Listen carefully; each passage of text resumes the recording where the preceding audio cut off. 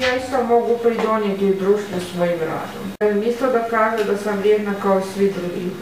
Dobili smo pravo glasati, imamo pravo glasati. Osobe sa interteškoćama. A o čemu, zašto prije niste mogli glasati? Radi toga jer nismo imali poslovnu sposobnost, a sad je, sad je glasno da sve osobe sa interteškoćama imaju pravo glasa. A zašto nam je poslovna sposobnost bitna? Možemo normalno potpisati ugovor o radu, Dobro, šta je, samo ugovor o radu ili ima još neke stvari? ima i druge stvari.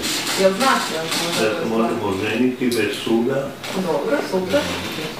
Što još? bez suda, imamo svi pravo glasa, kao sad tu dobili pravo Sad glasa. ste svi dobili pravo. Ali glade u udrugama. Glasa u udrugama, Mhm.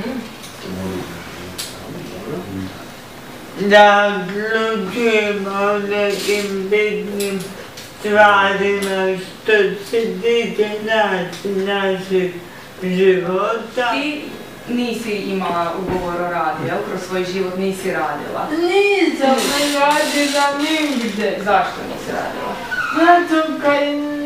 Zato kad nisam imala uvete. Dobro. Jesi htjela raditi? Jesam i htjela sam raditi, ali nisam uspjela nigde se zaposliti. Znači da mi nismo dovoljno sposobni da bi da bi se... Imali posebnu sposobnu.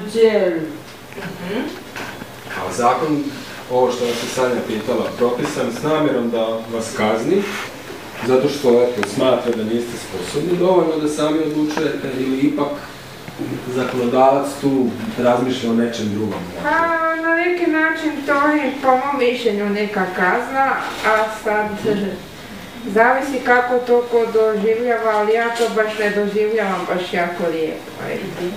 Ti ipak to doživljavaš kao nekakav oblik. Da, da. Žal, nepravde. I ja. I Ti tako. nisi ono. Ja, ja bi njima u žarku, puk, Šta vi Tomo? žarku, pet godina zatvora, evo ne dobi batinu. Što onda vi predlažete? Ili imate nekakvo rješenje za to?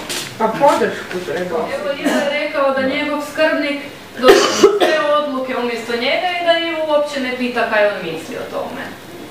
A šta bi onda, jel bi mogli podrška to činiti? Ne, Nego? samo reći svoje mišljenje, a ti si taj koji treba da odluči. To je sve.